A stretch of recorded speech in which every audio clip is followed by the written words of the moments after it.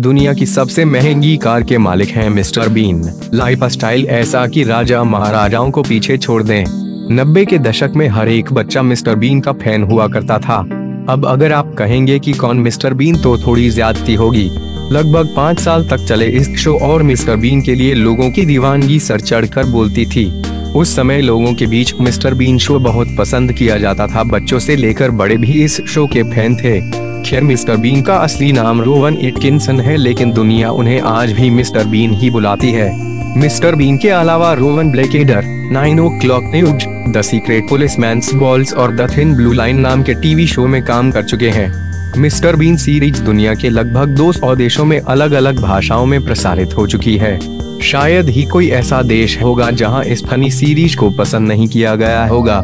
Rowan दरहम में पैदा हुए और पले बढ़े। उसके बाद इन्होंने ऑक्सफोर्ड के क्वींस कॉलेज से इलेक्ट्रिकल इंजीनियरिंग की। एक समय उन्हें लॉरी चलाने का शौक चढ़ गया और आज भी वो लॉरी ड्राइवर का लाइसेंस रखते हैं। रोवन को एक्टिंग के लिए यूनाइटेड किंगडम की महारानी ने साल 2013 में Commander of the Most Excellent Order of the British Empire के खिताब से नवाजा था। मिस्टर बीन यानी कि एटकिंसन 8000 करोड़ रुपए की संपत्ति के मालिक हैं।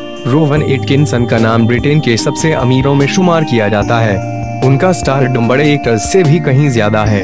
मिस्टर बीन का लंदन में एक कालीशान महल है, जिसकी कीमत करोड़ों में है। इसके अलावा रोवन एटकिंसन के पास दुनिया की सबसे महँगी कारों में शुमार मैक्लोरेन एफ़ एक भी है। 1990 के शुरुआती दौर की बात करें तो मैक्लारेन एफ़ एक की कीमत थी पाँच लाख चालीस हज़ार यूरो। वहीं अगर आप आज इस कार को ढूँढने या खरीदने निकलेंगे तो आपको इसके लिए तकरीबन 80 से 100 करोड़ रुपए खर्च करने होंगे।